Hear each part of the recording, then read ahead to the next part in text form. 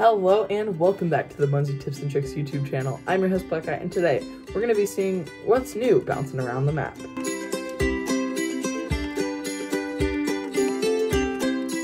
MHQ has just announced the release of the new Jack in the Box bouncer. It is the first temporary player-owned bouncer available exclusively in the Munzee app.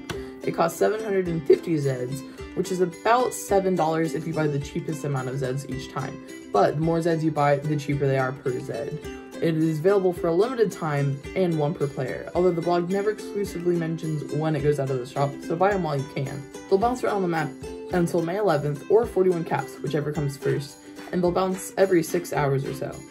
And they'll land on greenies, mysteries, elemental mysteries, treehouses, skylands, virtual colors, surprises, and surprise wheels. And the last one will not award another prize when you cap again. And 10 icons can appear after capping, which will work similarly to the 8 balls we saw a couple years back. There are badges for both deploying a Jack-in-the-Box and capping Jack-in-the-Boxes, so every time you see one, make sure you go get it to get all the unique icons and all the badges. That's it for the Munzee News. Hope you guys are staying safe, and as always, keep on capping.